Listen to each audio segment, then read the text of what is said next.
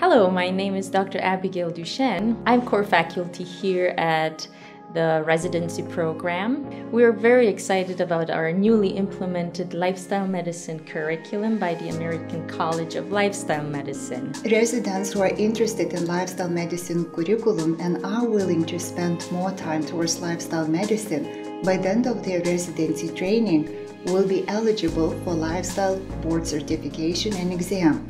So by the end of their residency training, they could receive dual board certification, one in family medicine and another in lifestyle medicine.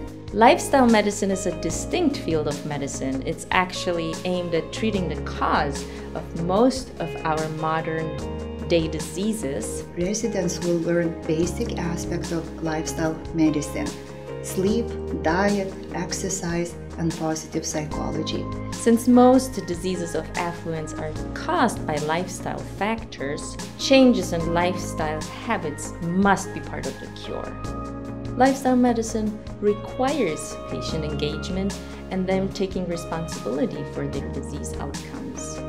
Seeing your patients' lives change to the positive after empowering them to make changes will be a really enriching experience for you for many years to come.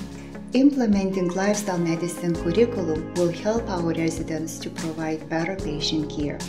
But not only that, we hope that lifestyle medicine aspects residents, faculty, physician could apply personally so each of us stay happy and healthy, competent family physicians.